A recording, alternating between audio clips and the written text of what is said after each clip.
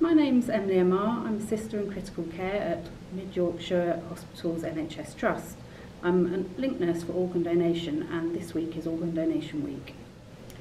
As you're aware, the law around organ donation has recently changed to an opt-out system. Um, it's really important to bear in mind that you still have a choice and you can opt out if you wish. If you do choose to sign up to the organ donation register, you can go to organdonation.nhs.uk And the most important thing of all is to talk to your family so that they are supported in their decision at, in what can be a very difficult time.